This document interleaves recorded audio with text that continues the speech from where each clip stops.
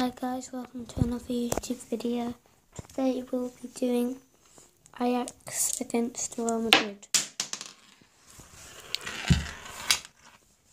Ajax in the white, Real Madrid in the yellow swirl. Three draws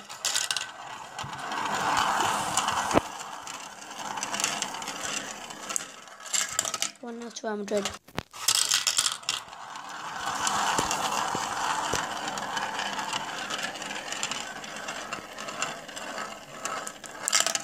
2 0 Real Madrid.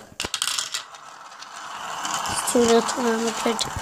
Can Ajax get the goal back or will Real Madrid go 3 0? 3 0 Real Madrid away to Ajax.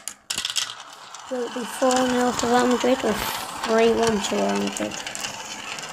Can Ajax get the goal back? 3 1 to Real Madrid. Thanks for watching, like and subscribe. Bye for now.